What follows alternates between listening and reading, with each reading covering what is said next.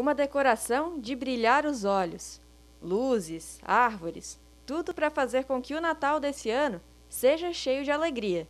Os shoppings normalmente realizam diversas ações durante o Natal. A decoração está sempre assim, ó, impecável para receber os clientes. Mas por causa da pandemia de coronavírus, eles tiveram que se adaptar para conseguir manter a magia do Natal com todos os cuidados.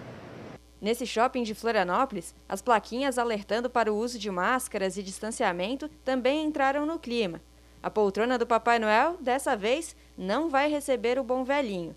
A ideia é que as pessoas possam usar a decoração para tirar fotos desse momento especial.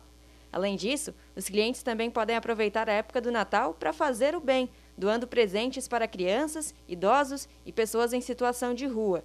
A Árvore dos Sonhos, esse ano, vai ajudar diversas instituições e também o projeto chamado Rede com a Rua, que vai garantir a entrega de kits com itens de higiene para homens e mulheres que estão em situação de vulnerabilidade social. Nossas ações estão a entrega de refeições pelas ruas de Florianópolis, em especial a Praça 15, e também o projeto de acompanhamento das pessoas que estão em transição da rua para uma residência.